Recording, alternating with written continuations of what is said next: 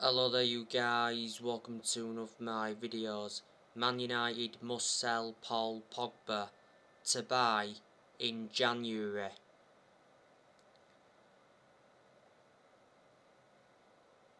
Now Paul Pogba's current contract at Man United expires next summer.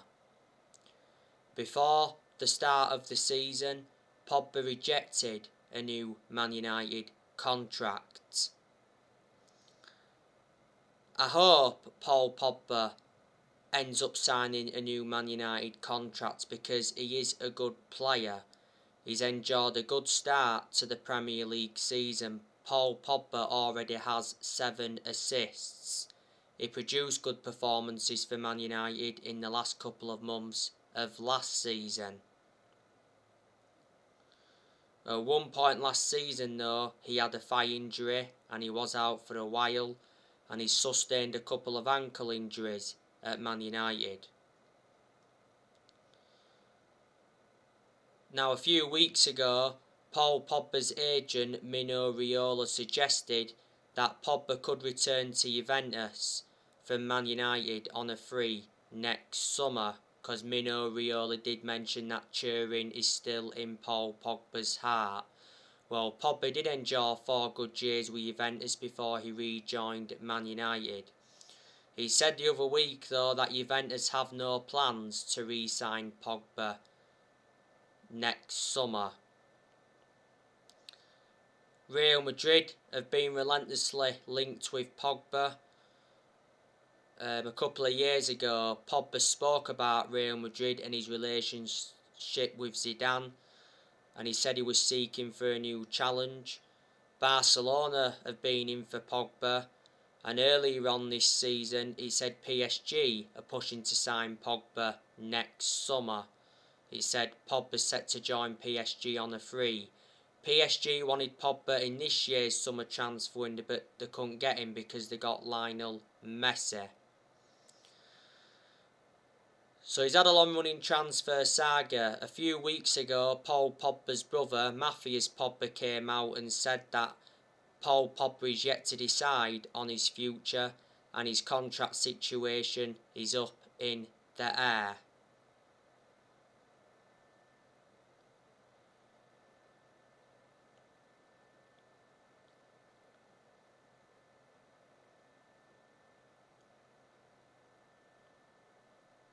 Paul Pogba's agent, Mino Raiola, has done a lot of talking. He made an announcement back in December last year saying that Pogba's career at Man United was over, he was unhappy and he had to leave and he had no intentions of extending his contract. Solskjaer was furious with Mino Raiola's announcement.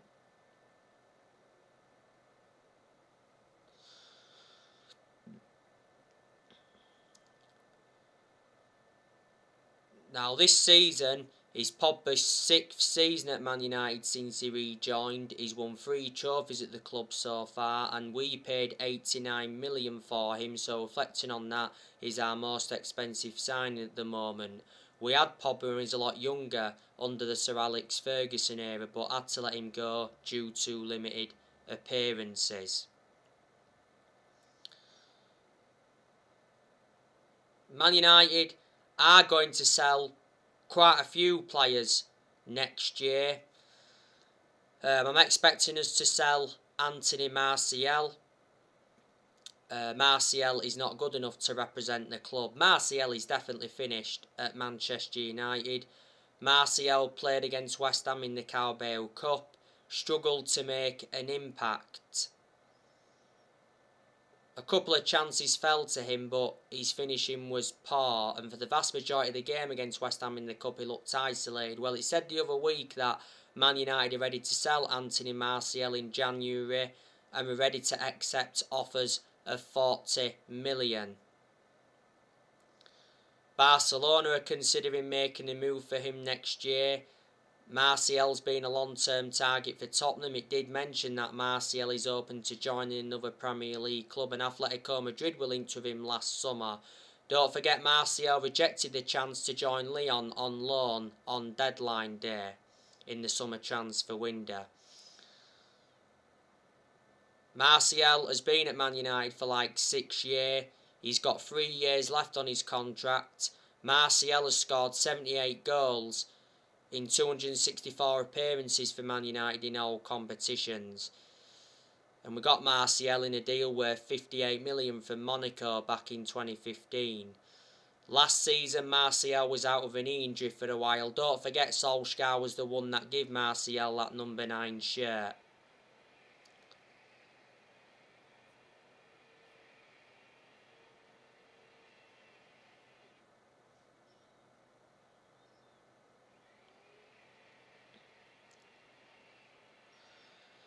Uh, Donny van der Beek, there's a good chance we'll offload him in January because Donny van der Beek is not getting enough game time at Man United. And I've said, you know, Solskjaer needs to start Donny van der Beek in the Premier League. Van der Beek played no part against Villa. Um, he played the full 90 minutes against West Ham in the Carabao Cup last week and he put a very good performance out. He also started against Young Boys, but Solskjaer taking him off at half time in that game. And I criticised Solskjaer for that because Van der Beek was our best player in the first half of that game. Don't forget Solskjaer rejected Van der Beek's exit because Everton were close to signing him on loan. Many clubs have been in for him. Not so long ago, Don Hutchinson the former Liverpool and Everton midfielder, told Donny van der Beek that he must leave Man United to save his career. And the other week, Paul Ince said that Donny van der Beek has absolutely no chance of staying at Man United. Uh, but I haven't really had much of a perception on Van der Beek at Man United, but in general he's a good player. This season is his second full season at Man United. We got him in a deal worth 40 million from Ajax. He's got a contract with Man United till 2025 and he's versatile. He can play in three different roles.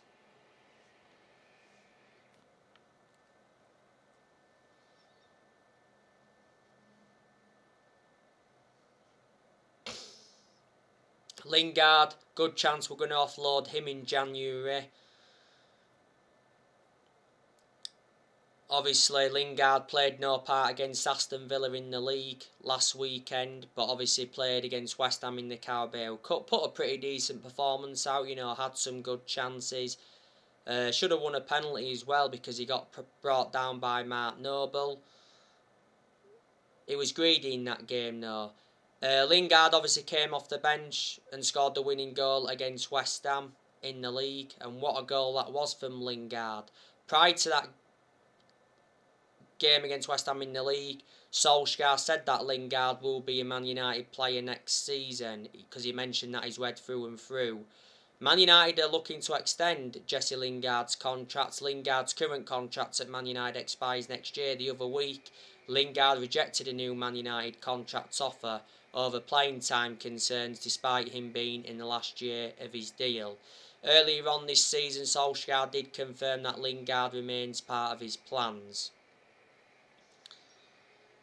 Diego Dalot, uh, there's a good chance we'll offload him next year. Diego Dalot is our second choice right back. Obviously, Dalot's in contention to play tonight against Villarreal because obviously Aaron Wan-Bissaka is unavailable because he's suspended. Bissaka got sent off in our 2-1 defeat to Young Boys for stamping on Martins. Dalot obviously played against West Ham in the Carabao Cup and he put a very good performance out. Uh, last season, Dalot had a loan spell with AC Milan, so reflecting on that again, some experience. We got Dalot three years ago from Porto. We paid 19 million for him. He's got a contract with Man United till 2023. Jones, good chance we'll offload him next year. Uh, Jones has always been inconsistent, plus he doesn't get in R11. Jones was out with an injury for a while, but obviously he's back. Jones was part of the squad for the game against West Ham in the Cup last week, but obviously played no part. When the summer transfer window was open, it said Jones is set to stay at Man United this season after Solskjaer told him he remains part of his plans. This season is Jones's 11th season at Man United, being long serving. He's the only outfield player that's still with us from the Ferguson era. Eric Bailly could offload him as well in January. And Alex Telles, um, he's another player will I think we'll offload in January because Telles doesn't really get into our team. Obviously, the reason we brought Telles in was to provide competition for Luke Shaw, but since we got Telles in, we've got the best out of Luke Shaw. Uh, Telles came back from injury not so long ago. We got Telles for 15.4 million from Porto. And could Edinson Cavani leave in January? I think Barcelona are going to reignite their interest in January because on deadline day in the summer transfer window it said Barcelona uh, made an inquiry over signing Edinson Cavani. But Romano came out and said that Cavani would not leave and he was happy to obviously stay at Man United. I can't say I want Cavani to leave though because he's made an impact since he's come in. Obviously, back in May, Cavani signed a one year contract extension and he receives over £200,000 a week. Cavani came back from injury not so long ago, and Mata, I think he'll also leave next year.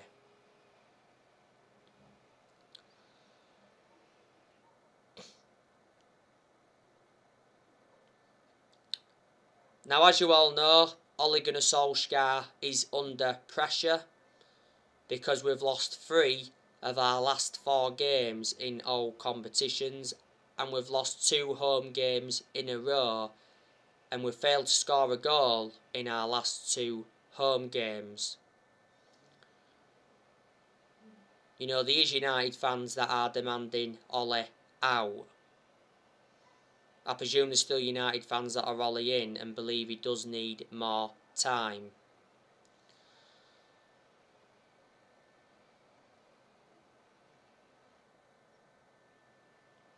But Solskjaer's job is safe at the moment. Because the Man United board retain full support for Solskjaer. Uh, Solskjaer got very good backing in the summer transfer window. John Murtough backed him, Darren Fletcher backed him, and the Glazers backed him, but only because they'd been persuaded to. Solskjaer has to win a trophy this season. He's not yet won a trophy as Man United manager. We haven't won a trophy since 2017. And the other week, Solskjaer did say we must leave a legacy of silverware. Solskjaer's ambition for this season is to win the Premier League. We haven't won the Premier League since 2013. That's eight years ago now. And we should be winning the Premier League this season because we've got a title winning squad. We've got like the third most expensive squad in world football. I think the squad's worth around 805 million. Well, earlier on this season, Solskjaer told his Man United squad that it's better than the 1999 treble winning team that Ole was part of.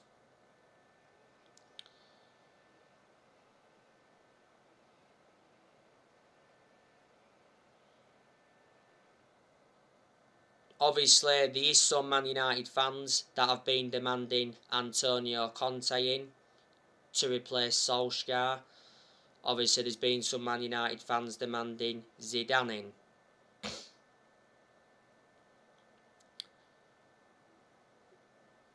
But Solskjaer is going to be staying at Man United for at least this season. You know, like I said, this season is his third full season. I did say at the start of this season that you know, this season's going to be absolutely massive for Solskjaer because he's got big expectations to exceed. Obviously, in the summer, Solskjaer signed a new contract with the club until 2024. There's an option of a further year. And we made a mistake giving Solskjaer that new contract because I can assure he won't see it out. But whatever happens regarding Solskjaer, I'll always adore him because at the end of the day, he's a club legend. He endured 11 years as a player for Man United. He flourished under Sir Alex Ferguson's guidance. And Solskjaer's most iconic moment as a player was when he scored the winning goal in the Champions League final back in 1999. You know, when he won the club the treble, and that is the club's greatest achievement. Reflecting now on Solskjaer's being Man United manager, he has gained some managerial experience and he's learned quite a bit on the job. But there's still plenty of things Solskjaer's got to learn because he's still a young coach. Obviously, before he was with us, he was at Molde. He enjoyed two spells at Molde, but they're not a big club. He won a few Norwegian titles and that with them, and before then he was at Cardiff, and his record at Cardiff was terrible. And before then, he managed a Man United reserve team for a couple of years, so he watched some of the team grow and develop. Ole has not got a proven pedigree as a manager, and that is definitely a concern. In December, Solskjaer would have been in charge of Man United for three years. You know, Solskjaer got appointed in in December 2018 to replace Mourinho. He's been permanent Manchester United manager since March 2019. Uh, Solskjaer has made good signings as Manchester United manager. You know, Solskjaer has signed 14 players. Uh, we spent like 441 million so far under the Solskjaer era. So in the summer of 2019, Ollie recommended Daniel James and Wan-Bissaka and Harry Maguire in.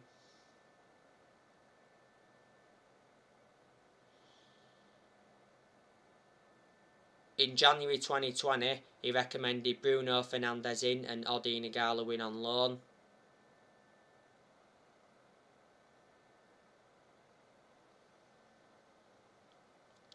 In the summer of 2020, he recommended Edinson Cavani and Donny van der Beek, Alex Telles, Amad Diallo and Facundo Pellistri. And in this year's summer transfer window, he recommended Tommy in, Jadon Sancho, Rafael Varane, and we re-signed Cristiano Ronaldo after 12 years.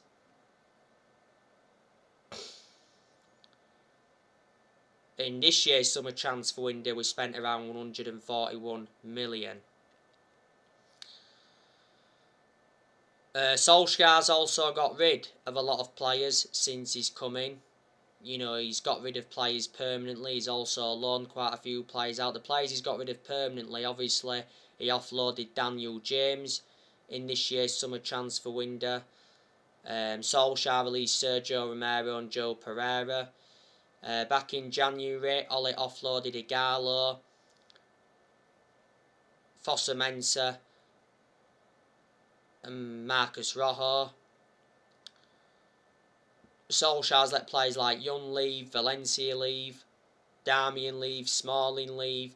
He let Fellaini go back in January 2019. He also let Herrera go, Angel Gomes, San Sanchez, and Romelu Lukaku. So they're a lot of the players got rid of permanently. Um, in the summer transfer window, Ollie out Ethan Laird, Axel Tuanzebe, Andreas Pereira, Brandon Williams, Tahith Chong, and Facundo Pellistri. Um, I like the way Solskjaer develops the youth as well. You know, seems to have a lot of trustworthy in his young players. Solskjaer is more or less giving everybody their chances to express themselves, including the young players, like he he would do when he got appointed in as Man United manager.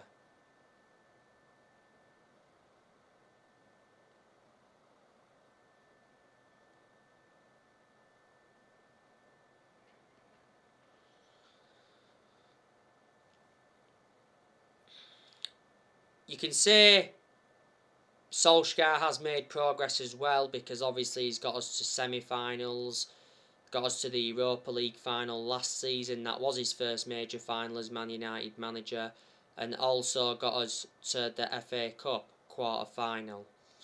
In Solskjaer's first full season, got us a third place finish, and in his second full season, got us a second place finish. So what Solskjaer produced in his first full season, in his second full season, he's looking to build on that, you know, this season. You know, Solskjaer has managed over 150 games as Man United manager in all competitions. You know, despite me criticising Solskjaer a lot during his managerial tenure at Man United, you know, I still think he's our best manager since Ferguson obviously Ollie isn't going to replicate what Ferguson did as Man United manager. No manager is going to replicate what Ferguson did, not in my lifetime anyway. Obviously, Ferguson endured a 27 year tenure at Man United. He won 30 odd trophies, including 13 Premier League titles. So, reflecting on that, he brought success to the club, but Fergie didn't settle in straight away because he didn't win out in his first four years at Man United. That just indicates it takes some managers time to settle in. But we haven't been the same team since Ferguson retired, and a lot of United fans predicted it was all going to go wrong when he retired. Obviously, we've sacked three managers since Ferguson retired. We sacked Moyes after 10 months, we sat Louis Van Gaal after two years, despite him winning the FA Cup, and we sat Jose Mourinho after two and a half years, despite him winning the Europa League, the League Cup, and the Community Shield in his first season. Mourinho also got us a second place finish in his first season, so you can say he did enjoy one good season at Man United. So Ole is our fourth permanent manager since Ferguson.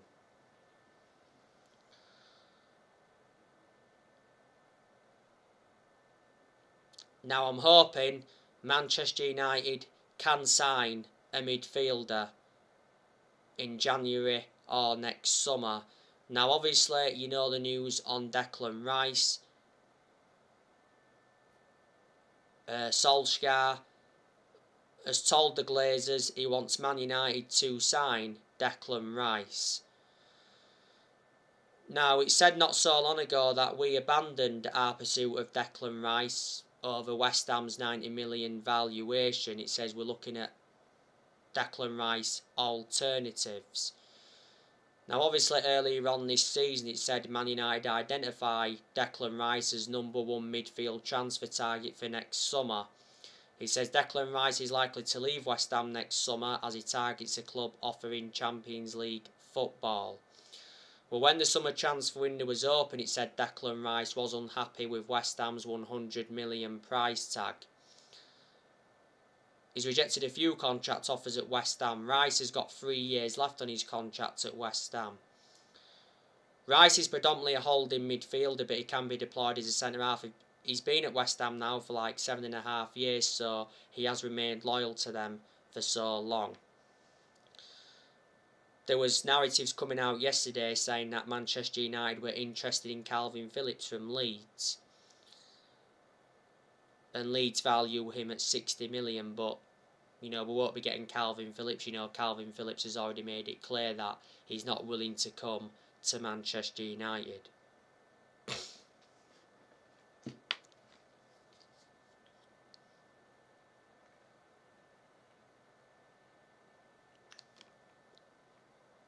So, there you go.